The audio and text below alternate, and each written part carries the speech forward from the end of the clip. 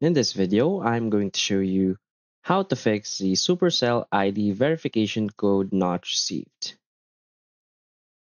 So please watch the video until the end and follow this tutorial step by step to avoid making mistakes. So let's get started. So the first thing you want to do is to go open your phone settings. Now go to your app settings. From here, simply search for Clash of Clans and select it. Now from here, you want to scroll down and tap on storage. Now what you want to do is to clear its cache. Now you want to go back, scroll up and go to its permissions.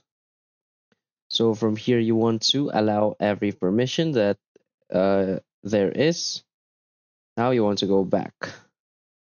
Close it. Now you want to go to the Play Store and search for Clash of Clans.